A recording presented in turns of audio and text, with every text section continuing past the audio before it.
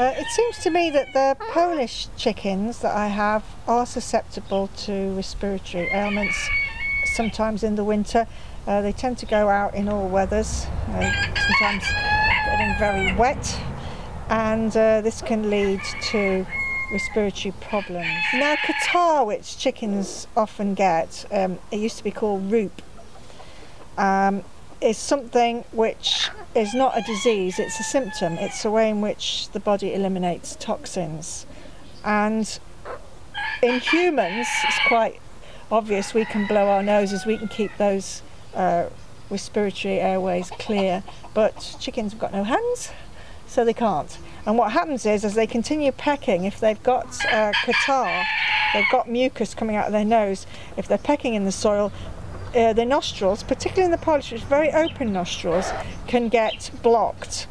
And this, this is where steam inhalation comes in really handy because you can put your chicken over the steam and it can breathe in through its mouth and start to clear those airways and then you'll get the nose nostrils clean as well and it'll keep those toxins flowing outwards and it'll stop any infection forming in the nose as well which is unfortunately what can happen if the nose gets blocked up.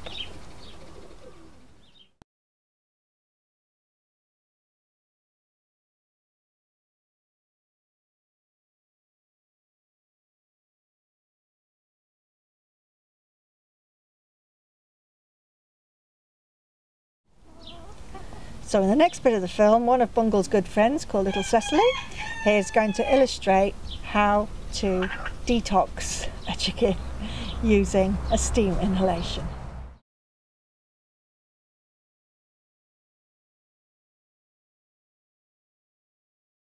Now there's a way of doing this so you don't disturb the hen and so you don't burn the hen. And that is to, to put your hen's feet in your hand like that so you're going to get burnt first before the hen does so you know what the temperature is. And hens usually fine with inhalations. Um, this is little Cecily, she's got no problem at all but she's just demonstrating and you just hold your hen near to the steam like this so she can breathe it in. So there she is, she's quite safe there. And you want to do it for a couple of minutes. Now if you've got if you've got a whole flock that has respiratory problems then the best way I've found of doing this is to put the flock on a step ladder uh, near your stove and then just take your pan and put it underneath each hen bringing it back to the stove to get the steam flowing again if you've got quite a few to do. This only ever happened to me once when I had four or five hens that all had catarrh and that was due to the fact that uh, I didn't grow cabbages that year and they didn't have enough vitamin A. So this was the solution and it worked really, really well. There you go. You can see she's tasting that.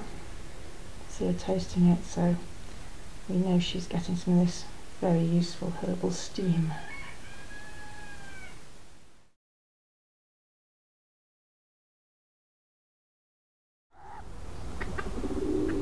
So if you take a look at Diavolo here, you can see these. Thank you you can see these nostrils and how they can get infected. They're very big and they've got all this wattle around them and uh, that's how they can get dirty and they can get blocked up in the winter with catarrh. And from Spike and me, thanks for watching.